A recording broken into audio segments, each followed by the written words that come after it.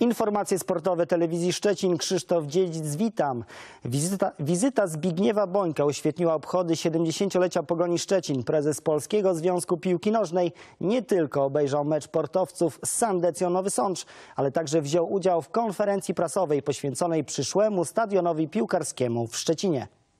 Dwa lata temu rozmawiałem z panem e, prezydentem i rozmawiałem z panem Mroczkiem.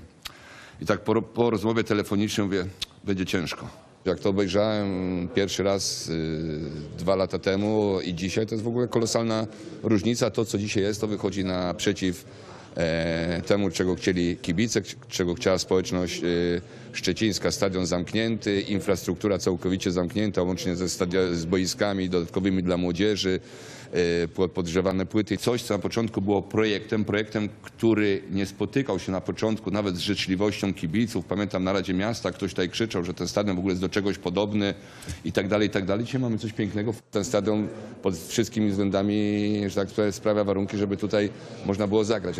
Reprezentacja U21, wszystkie inne reprezentacje mogą grać, natomiast jeśli chodzi o pierwszą reprezentację, to nie wydaje mi się, że polska piłka bez Pogoni Szczecin byłaby troszeczkę biedniejsza. Polska piłka z Pogonią Szczecin, z dobrym stadionem, z pięknym obiektem na pewno będzie bardzo mocna i ten krajobraz piłkarski się wzmocni.